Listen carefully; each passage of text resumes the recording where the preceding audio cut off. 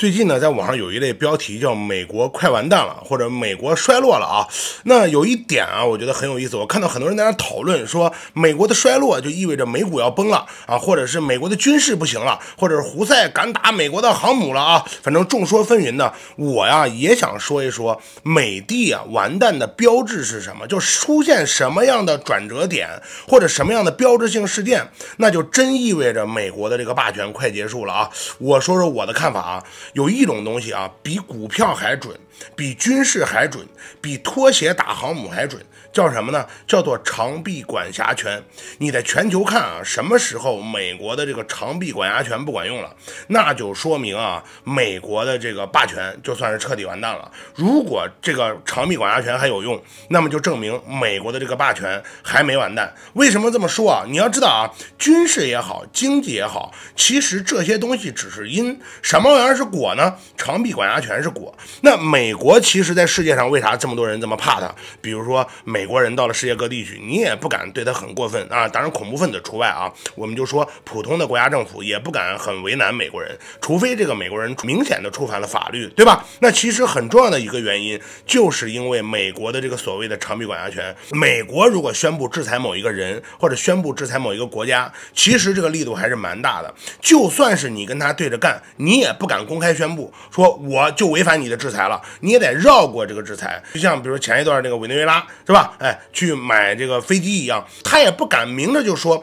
我现在就要买这架飞机，我现在就要违反你的制裁禁令。他要怎么样呢？他要通过空壳公司在佛罗里达去购买这架飞机。但即使呢，他触犯了这个东西，被美国政府发现以后，美国政府依然可以用你违反了我的这个禁令法为由，他就不在美国国内，在多米尼加停了呢，依旧把你给扣押了。就是美国可以以他自己的意志，不顾任何一个国家和政府的反对，他去。制裁一个人或者制裁一个国家，这个软实力啊要由硬实力来配合。美国还有一个地方特特别恐怖啊，配合这个长臂管辖权是什么呢？就是所有的东西信息对他来说几乎是单方面透明的。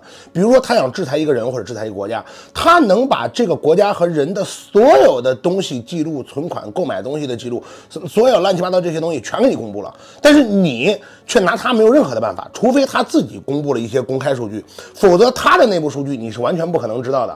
只有他公布你的，而你公布不了他的。你公布他，他也不怕。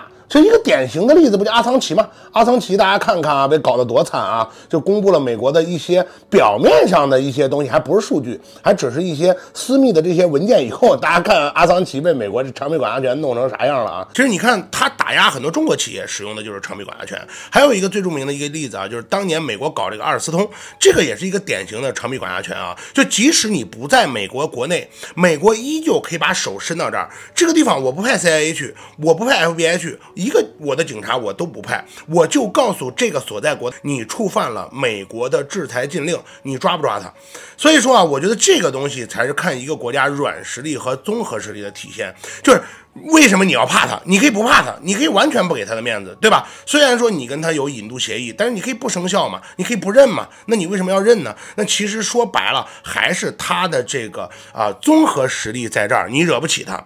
你如果能惹起他，你不怕他，就像以前苏联跟美国打冷战的时候，那跟美国平分秋色，你就直接宣布我这边几百个装甲师，你那边几百个装甲师，咱俩核弹瞄着，我就不跟你来往了，我就自己搞我自己的一套，我这边控制着半个地球，我就直接给你撕破脸了，咱。那就拜拜啊！你长臂管辖权的东西也管辖不到我这国家啊！我这些东西跟你也没关系，我的所有企业你也制裁不了，对吧？这叫跟美国平分秋色。但剩下的时候，所有的国家、所有的企业其实都还是挺怕美国这长臂管辖权的。你包括啊，美国现在这个毒品泛滥也是，他自己国家毒品泛滥，是因为美国这边国内的这些毒贩他没法管，但是美国对外国毒贩他可毫不留情。大家都知道啊，美国有一条法律是，只要外国毒贩的飞机。或者是外国毒贩的轮船敢。经过美国本土去运毒，不管你是任何国家、任何地区的谁，美军立马出动到你本土把这毒贩给打击了，而且这不止一次在拉美上演，所以说导致后来这些毒贩对美国就吓尿了，就完全不敢到美国本土去。当然了，由于拉美的这些毒贩最终来说不敢往美国本土上贩毒啊，最终培养起了美国本土无数的大毒枭，